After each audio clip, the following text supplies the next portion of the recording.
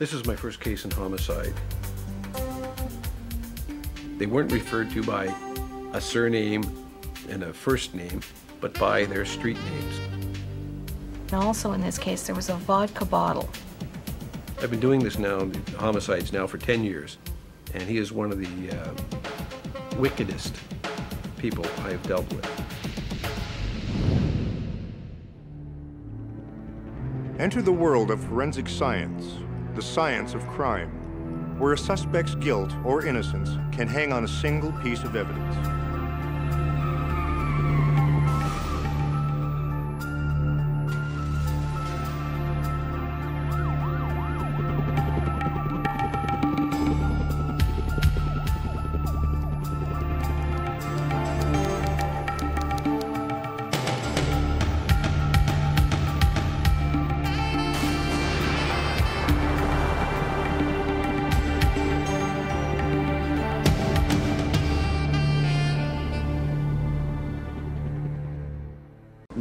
Should die that way. I've never seen anything that horrific. One of the duties of a pathologist is to determine the cause of death. Watch on mobile devices or the big screen. All for free. No subscription required. Download Veely now.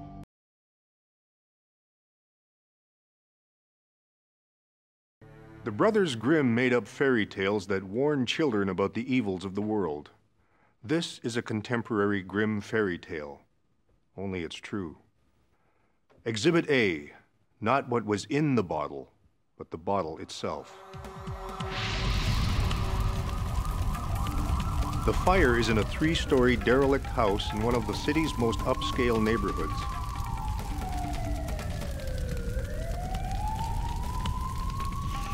Because it's been boarded up, the fire is confined to one front room.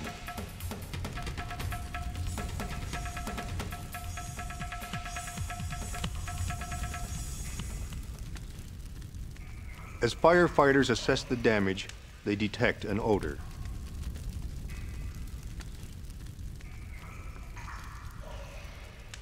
If you've ever experienced the smell of a burnt victim um, within the confines of a structure, it's something you don't soon forget. The body is charred beyond recognition. Initially, it's thought the victim is a transient who fell asleep while smoking.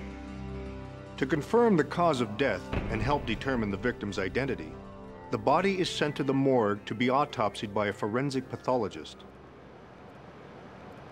The back of the body showed two areas where the skin had been spared from the effects of heat. The skin was clearly white. There was a charred gag in the mouth of the individual, and obviously a gag in the mouth would preclude smoking and careless use of cigarette butts. The body appeared to be that of a young female. I stopped what I was doing at that stage and uh, awaited the arrival of the homicide investigators. This was my first case in homicide. It became quite clear that this was not a, a fire death at all. In fact, it was a homicide and a rather brutal homicide. The uh, cause of death in this case was attributed to ligature strangulation effected by the elastic material in the bra, which was tightly bound twice around the, uh, the neck. There was evidence of injury to the vagina, that this woman was bound around the ankles, and had the effect of fire not been so great, it would be my opinion that she was equally bound by the wrists. Because of the uh, sexual assault aspect of it, because of the forcible confinement and the uh, uh, the arms being uh, tied, the ligature across the throat, uh, the um, uh, gag in the mouth, various other aspects of it. It was always a first degree murder. Now that it's an official homicide, investigators return to the house. They search the front room where the body was found, looking for clues. Then they head for the second and third floors.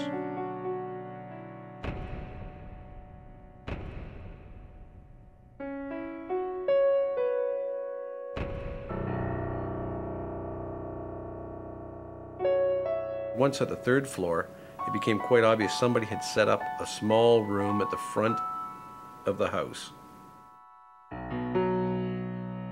Detectives would later discover the place was a squat house for street kids.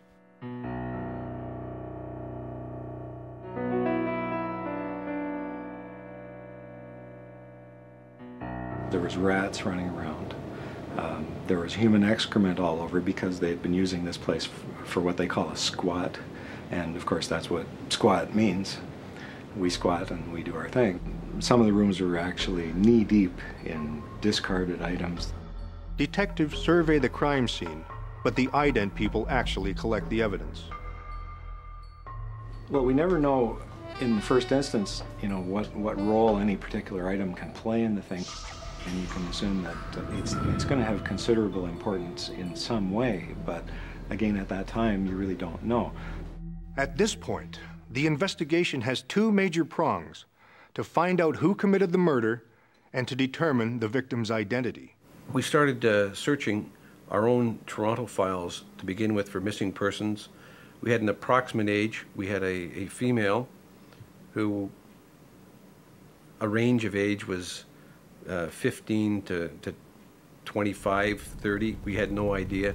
We put out a request through the media, and as a result of that, there was a, one phone call from an officer in Niagara Region who um, hooked up the, a missing person down there. We uh, got dental records, and from the dental records, an odontologist matched up uh, the teeth, and that, that's how we did our identification of her. The victim was a 16-year-old girl, the youngest daughter of professional parents. She was from a small city near Niagara Falls. Her name was Cynthia Ray. As a last gasp of freedom before starting a summer job at a local burger joint, Cynthia Ray and a young friend had hitchhiked into Toronto to spend a weekend hanging out in the punk scene.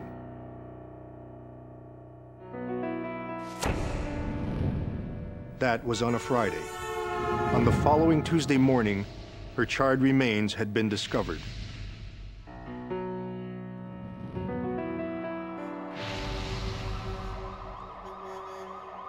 What had happened in between? And who had murdered Cynthia Ray?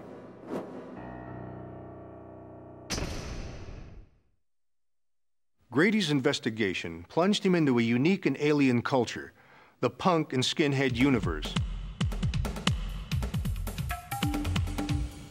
They didn't, they weren't referred to by a surname and a first name, but by their street names. So we got familiar with those street names. And then when we referred to them as their street names, um, I think they appreciated it. They were quite cooperative to, to speak with. We had some of these kids come in and they would have uh, uh, their uh, Doc Martin boots. Like there were all kinds of different boots they wore. Paratrooper boots, there was uh, army boots, there were police boots. Within this little hierarchy, uh, Doc Martens were the ones that everybody wanted to wear. Investigators eventually discovered Cynthia Ray had been seen with a guy whose street name was Rodent. Rodent was a punk from a well-to-do family. He'd met Cynthia on Saturday afternoon when she bought a bunch of them some fast food and booze. Cynthia was what was known as a poser, a kid who lived at home during the week and made the scene on the weekends. On the plus side, she had a bank account.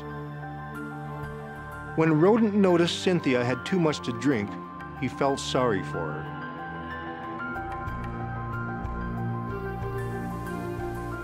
There was a woman there who was out taking photographs of interesting people.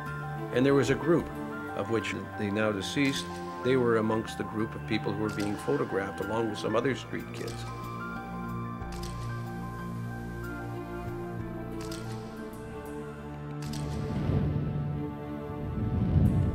Rodent and Cynthia slept in a park Saturday night. The next day, Sunday, they hung out together and later had sex in a parking lot stairwell.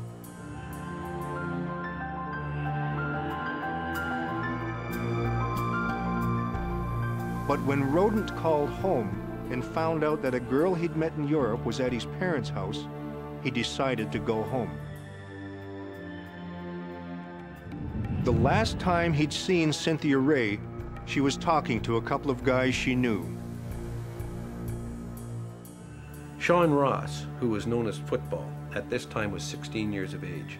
The other, James Harbottle, he was a little older. I think he was uh, 19 or 20 at the time of the, the offense. He was a punk rocker. He had his hair in a mohawk at one point. Uh, he had it shaved right down uh, at one point.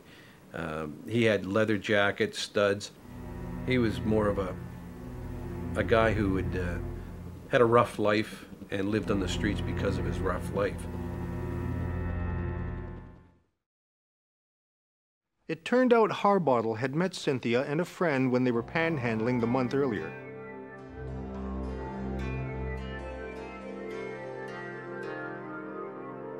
He gave them a tab of acid. That night, while her friend slept in a nearby bed, Cynthia had sex with Harbottle. The place where they had spent the night was the same squat house where a month later Cynthia was found murdered. Harbottle's street name was Evil. Meanwhile, the vodka bottle had been sent to the Center of Forensic Science to be analyzed. One of the issues was whether she'd been sexually assaulted.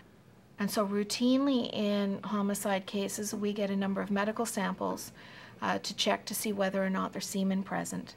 I had those, and also in this case, there was a vodka bottle. In this particular case, I noticed some crusty yellow material in the area around the bottle cap. What we want to do is get the um, get the material off, and then it's simply a question of, of swabbing that area. So from looking at the bottle, swabbing off the material, and then testing it, this is what we find. First, that we have spermatozoa present. Secondly, that we have epithelial cells present. And thirdly, that they're vaginal epithelial cells because there's a lot of glycogen present in most of the cells. That combination plus the typing was consistent with the Crown's theory of what had happened, which was that the vodka bottle had been inserted vaginally. This confirmed Rodent had slept with Cynthia, but what about Evil or Ross? All we knew at that time is they were the last ones to be seen with the deceased, and off they had gone. And we had no story from then until when the deceased is found. So we wanted to locate them and find out was there another perpetrator, was there something else? that they um, perhaps smoke a joint or whatever, and just leave her with somebody else. We had to find them. Grady received a report that Evil and Ross were stopped on the outskirts of Toronto by a police officer and told to move on. The officer noted that Ross had a pair of eight-hole Doc Martin boots. Cynthia Ray had eight-hole Doc Martens. The next report was that they had hitched out west together. Then Evil and Ross split up. When Grady found out Ross, aka Football, had been transported back to Montreal, he was anxious to talk to him. I thought he could probably be the best witness in this case. And if you think of it, uh, uh, the one guy's street name is Football, the other's is Evil. And I mean, it, it may be very basic, but when you're dealing with this, and one was 16 and the other was a little older, one was a bit more of a leader on the street scene, being evil, a guy who'd been around the streets a bit longer. He'd had a bit of a, a checkered past, been in and out of trouble with the police. Whereas Ross, at this stage, was 16 and didn't seem to have the history that we knew of at that time.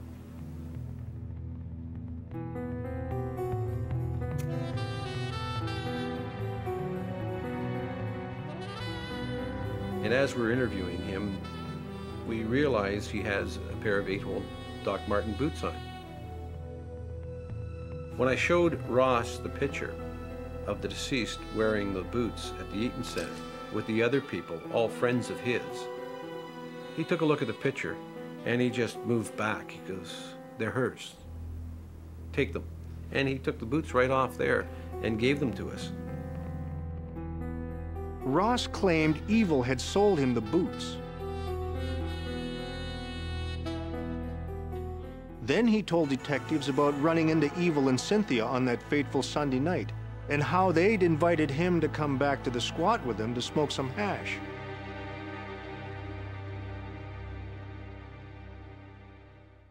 The only way into the squat was a third floor window, and Ross helped Cynthia climb in. They smoked and went to sleep. And then in the morning, he got up, went off to uh, the Scott Mission, got some new clothes, and then uh, met up with um, uh, Harbottle, and off they went to uh, Points West. He basically gave us uh, Harbottle with exclusive opportunity. Meaning, he didn't say he saw Evil kill Cynthia, but he certainly implied it. But Grady didn't entirely buy Ross's story. He had a hunch Ross was more involved than he was letting on. You know, there was nothing to substantiate it, but uh, we were much more concerned after the interview than we were, you know, before, that's for sure. At this time, blood samples were voluntary. Through his lawyer, Ross declined to give one. But the detectives rushed back in to collect the used cigarette butts for saliva samples. We actually take the paper itself and then we would extract, put it into a special liquid. In the case of ABO typing, it's just uh, water because the ABO substances are soluble in water. The ABO system could not nail a suspect, but it could exclude one. Ross was an A secretor, so he was eliminated because there was no group A substance found on the vodka bottle or on the vaginal swabs from the deceased. Maybe Grady's hunch about Ross was wrong. Maybe he'd been telling the truth, that Evil was the soul sick murderer. But when they eventually caught up with Evil, he would tell quite a different story. Grady had been getting police updates about Evil's whereabouts, but he still couldn't catch him. Then something he never expected happened. Evil called him. He was phoning and trying to say that he was a nice guy. He didn't do anything, doesn't know what went on. And uh, we had him arrested while he was in a payphone. For the first time, Grady was face to face with Evil. Grady had a tape recorder with him. He turned it on and asked Evil if he wanted to say anything. This is a story Evil told him on the ride back. Yes, Ross had run into him and Cynthia that Sunday night.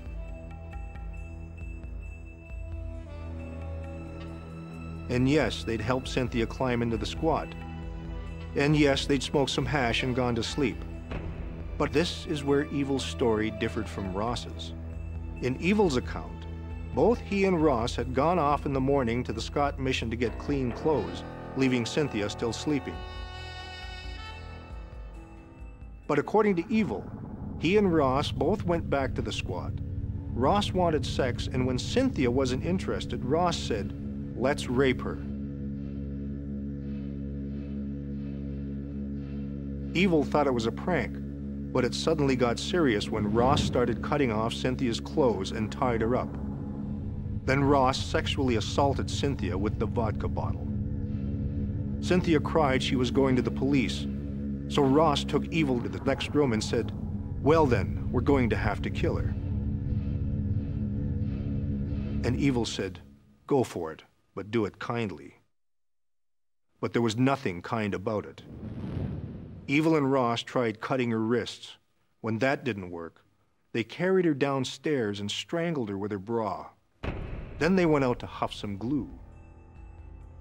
That's when they decided to return to the squat and hide Cynthia's body under an overturned couch and set the whole thing on fire.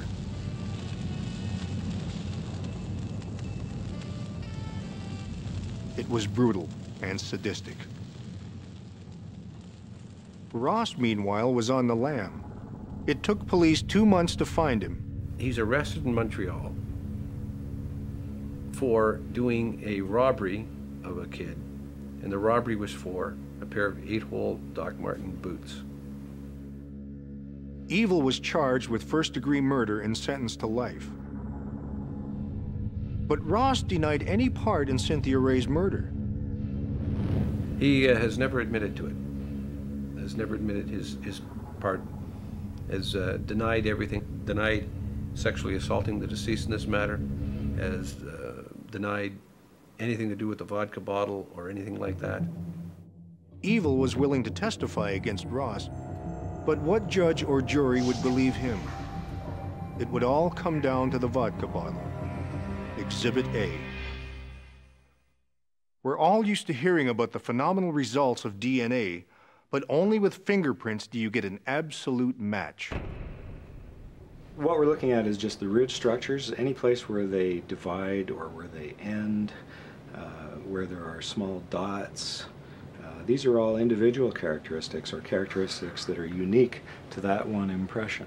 There is no, no reported uh, or known case of two persons' fingerprints being the same.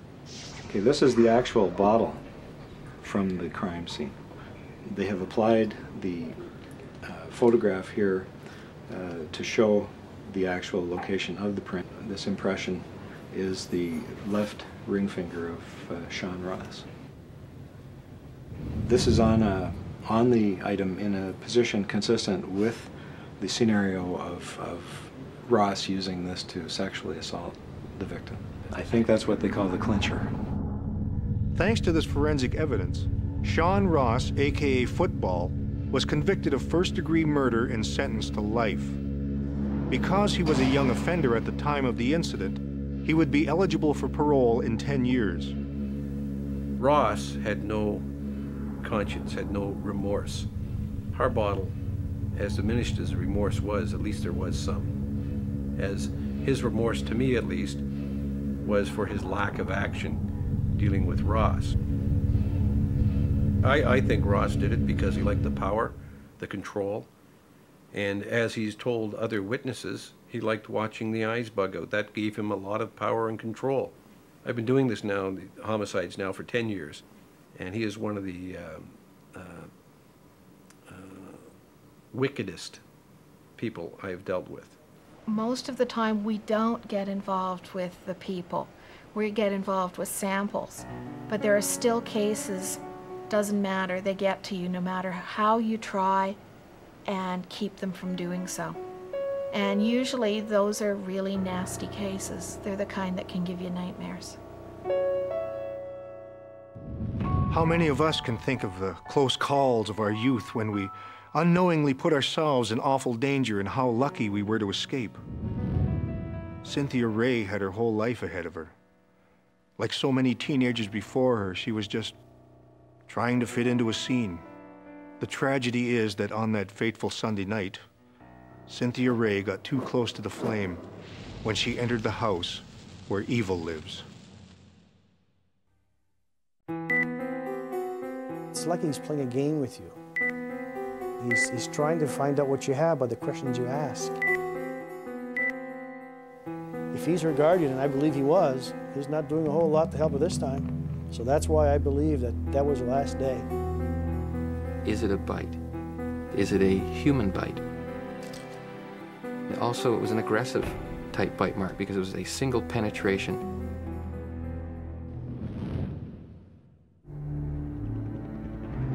Enter the world of forensic science, the science of crime, where a suspect's guilt or innocence can hang on a single piece of evidence.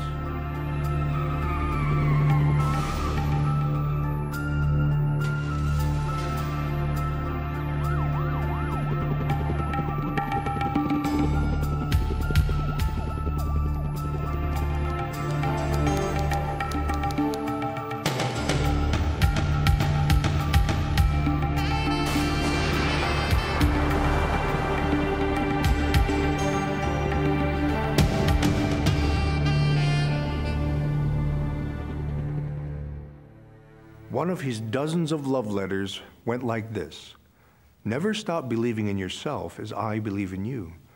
No matter what happens, Natalia, I will always be there for you. My love for you is unconditional. Where does love end and obsession begin? Exhibit A, a bite mark on a body. Natalia Mazursky was 21 when she arrived from Russia on Valentine's Day 1992. Her family was heartbroken to see her go, but knew that life would be better for their daughter in Canada, the promised land. She came to marry Ivan Kravchuk, a Russian boy who had immigrated before her.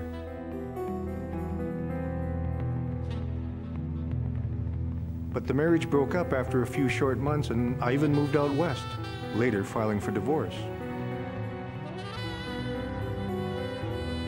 Natalia, now all alone in a new country, decided to enroll at university in interior design. At home, she'd been a talented painter. In her first two years in Canada, she had several exhibitions of her work. By this time, she had met Alex Plotkin, another Russian who had grown up in Canada. They eventually started living together. Natalia felt they were meant for each other. But it was a stormy relationship, and she asked Alex to move out. Around that time, Gilbert Ho, a friend of a friend, helped her get a job at a trendy downtown restaurant. That's where she met Glenn Rollins.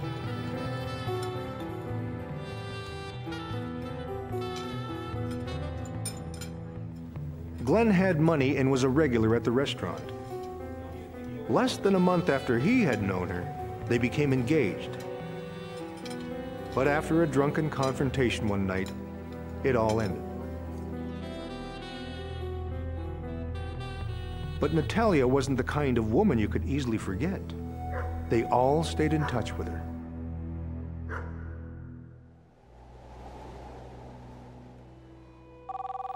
It was on a Monday morning in January when Natalia's phone started to ring.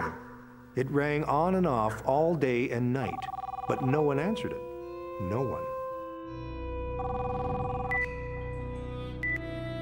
Hey, Princess, it's me. Good morning.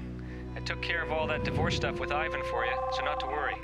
Hey, Natalia, I'm just picking up a pizza and bringing it over. Hey, it's me. Uh, just getting off work. I was gonna come over. Where are you? It's Ivan. I've been calling you. Give me a call. It continued to ring over the next two days and nights. Hey, where were you?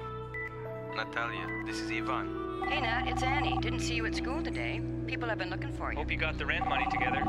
Otherwise, you're going to get evicted. Bye, Princess. Talk to you later. Just give me a call so I know you're okay.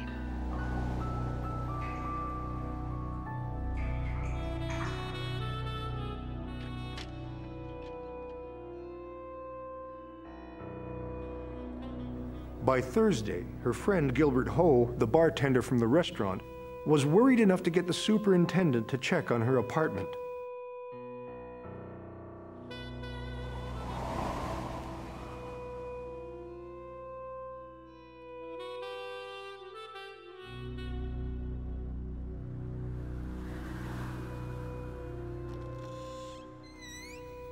Something horrible had happened. Natalia is dead. Gilbert calls police. Homicide is brought in.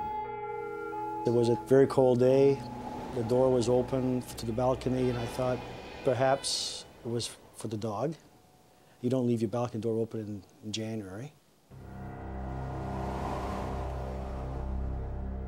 The first thing that I remember when I walked in the apartment was a small bathroom to my left, and I could see a body in the bathtub.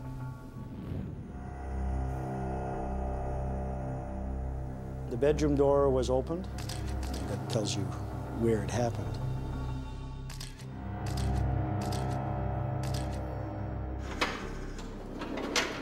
The body is a crime scene unto itself. It tells its own story. The striking injuries in this case were those to the, uh, to the head area. And uh, the face, for example, showed multiple lacerations. Lacerations are tears of the skin.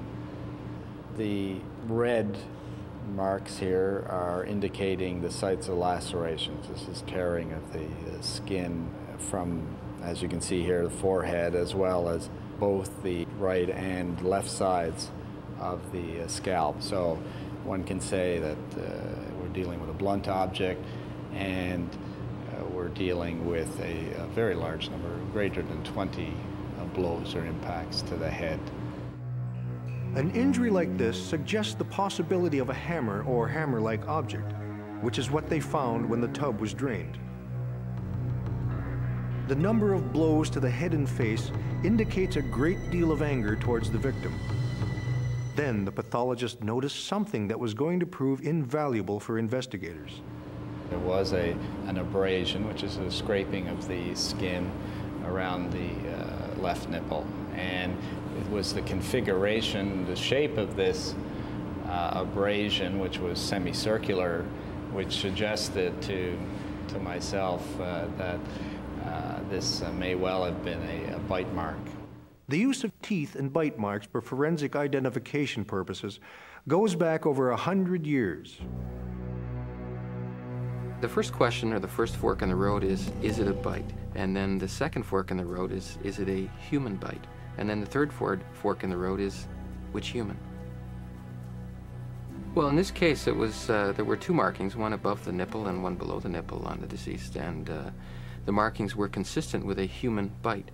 And furthermore, they were consistent with a bite mark, in my opinion, that was of a, a, a sexual nature, being as it was on the breast, and also it was an aggressive type bite mark because it was a single penetration, fleeting sexual bite where there was grasping, enough pressure to break the skin, yet there was no central bruising that one would see, say, for example, with a, with a hickey or uh, an affectionate bite mark.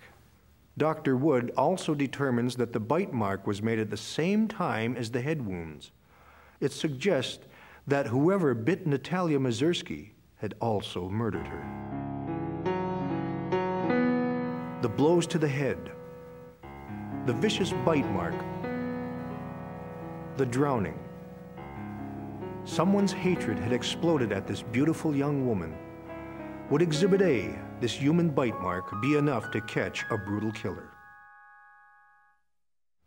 In the week following Natalia's murder, Detective Mike Hamill returns repeatedly to her apartment.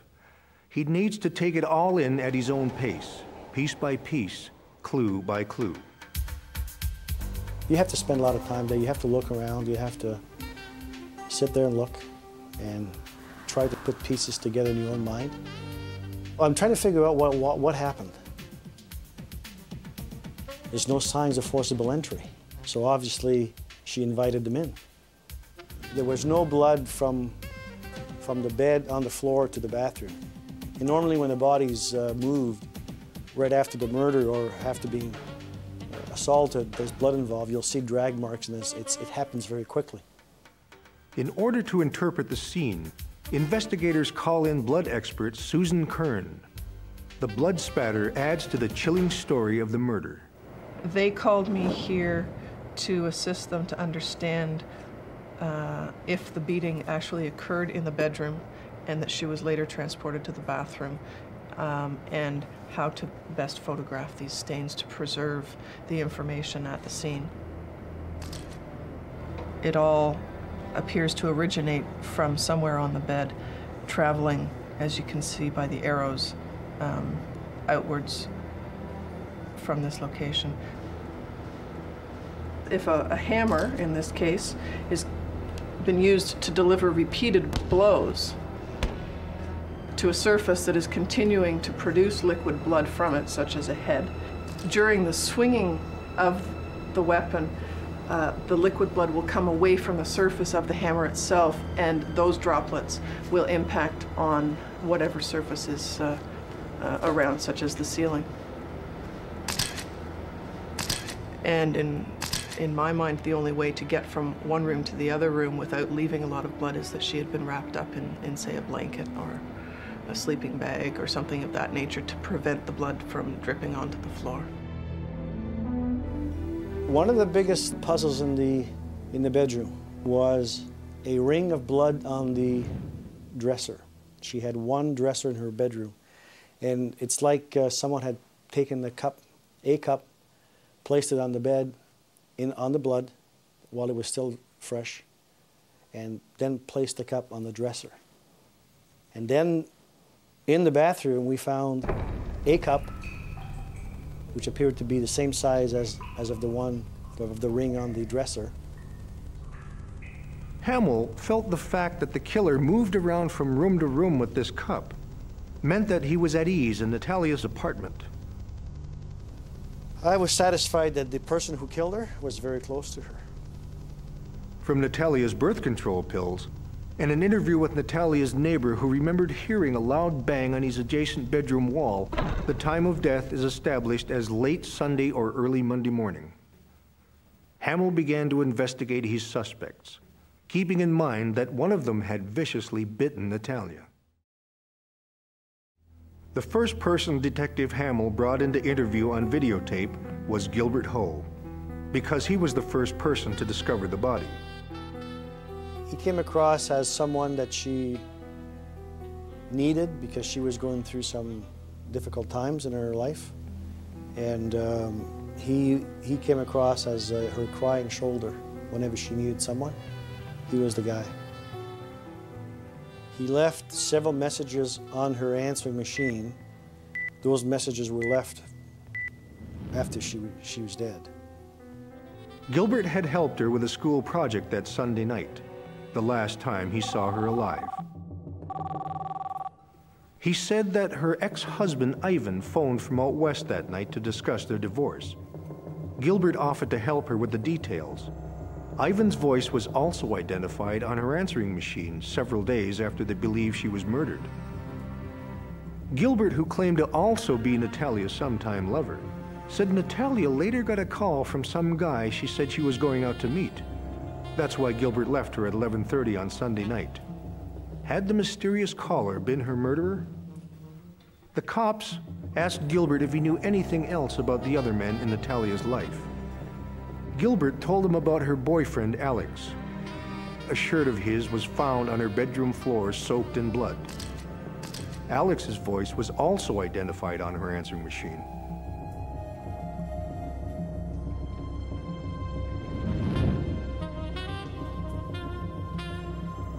Gilbert told detectives that he had more than once had to console Natalia in the restaurant after a row with Alex. Alex admitted having sex with her on the Friday and Saturday before her murder.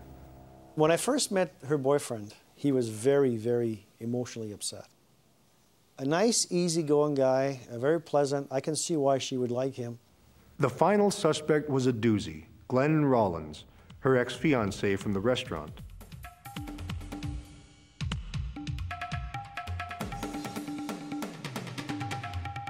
Glenn was very possessive of Natalia, and one night shortly after they were engaged, he barged into her apartment building drunk. He claimed Natalia was playing him for a sucker and demanded his engagement ring back. When she wouldn't open the door, he became enraged.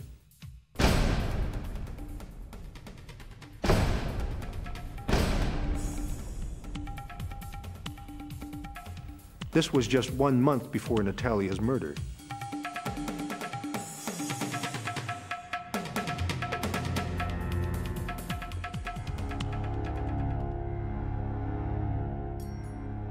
And of course, he became a suspect because of that. I mean, you just don't come over and break down the door with a sledgehammer. Glenn was charged with assault. When she was later found murdered, the media was all over him. Their theory was that he was a spurned lover with a streak of violence. These were the four suspects. Mike Hamill would need to make bite mark impressions from all of them. While Hamill was still investigating, Natalia's family came over from Russia to attend her funeral. You could tell it when you met the family. I mean, we have, our cultures are way off, they're very different. And uh, you could sense this, the feeling from these people, they just couldn't understand, how could this happen? In addition to Natalia's family, three of the suspects were also there. Ivan, Alex, and Gilbert. Mike Hamill was there too as a mourner and an investigator. In these types of cases, or any other homicide cases, you're going to end up with a number of suspects. The faster you eliminate them, the more time you'll have to spend on your real suspect. Ivan Kravchuk, Natalia's ex-husband, still lived out west, and it didn't appear that he could have flown in and committed the murder. He had a perfect alibi, so he was out of the picture as a suspect. As for Alex Plotkin, on the night of the murder, his roommate swore he'd been sleeping on the couch and was still there when she returned from work late that night. But he had his own place, and we had an, an alibi for him as well. Then there was Gilbert Ho. He came over to Detective Hamill and thanked him for coming. This was tough for Hamill because he had begun to suspect Gilbert.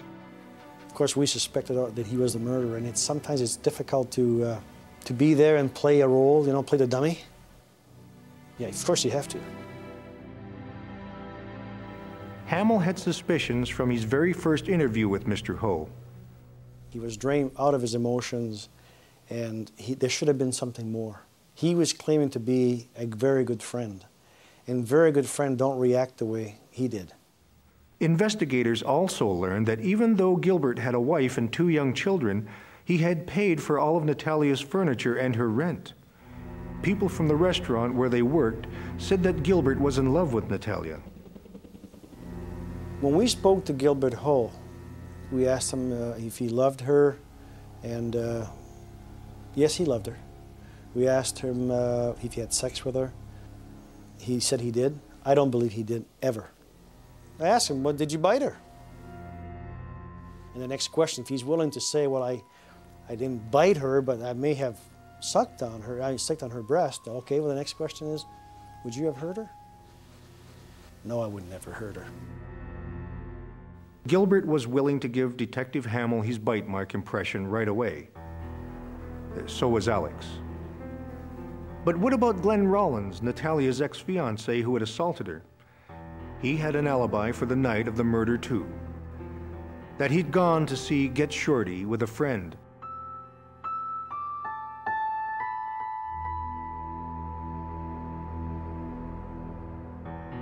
Glenn Rollins agreed to give Hamill his bite mark impression in exchange for dropping the assault charges. It would all come down to the bite mark impressions. Here you have uh, the three suspects' models. The question has to be looked at from two ways. Is it this person? And, and that's important to the police. And can I, can I exclude this person? Uh, and if I can exclude the person, certainly that's very important to the to the police for the for the police to know as well. This is the tape that was uh, shown to the jury that was made uh, from the computer, uh, and what we have here, we have suspect three's teeth, which we are uh, superimposing on the bite mark over the breast. These teeth are uh, obviously not a match. They're far too wide. They're at an odd angulation for this to be a possible match, both in the upper and in the lower arch. So we're moving on now to the uh, second suspect. But again, they're too large. The arch is too large, and where there are teeth that should be leaving marks, there are no marks. And now we have uh, Mr. Ho's dentition and the corrected uh, teeth here, and they fit. They fit quite nicely. He's got a smaller arch, and uh, the teeth can be seen to be in the proper position for making the blackened bruises that appear uh, both above and below the nipple. The outlines of the teeth fit very nicely with the bruises. You'll see them disappear and the bruises appear right beneath where the uh, markings are.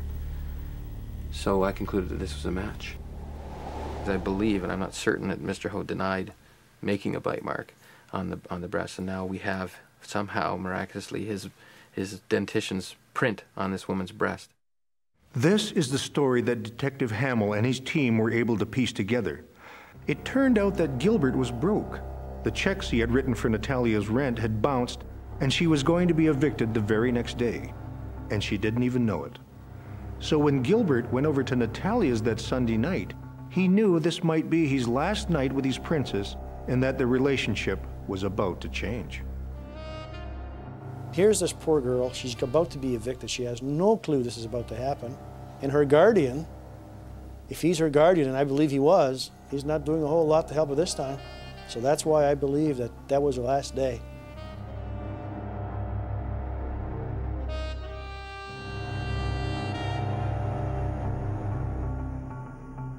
Hamill believed Gilbert wanted sex. After everything he had done for Natalia, it was the least she could do for him. When she refused, he exploded in outrage. He bludgeoned her, then he bit her, then he thought about what to do next. He wrapped her head in a towel and carried her to the tub to try to cover it up. It's the only mistake he made, was he bit her. Because without that, we could not put Mr. Ho at the scene at the time of her death. Gilbert Ho was convicted of first degree murder and sentenced to 25 years in prison. He was obsessed with her. If he could not have her, no one else could. No matter what happens, I will always be there for you. My love for you is unconditional.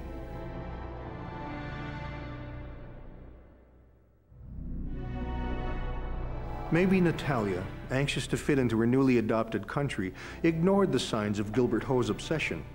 Maybe she didn't have the heart to tell him to leave her alone. The tragedy is no one else did either.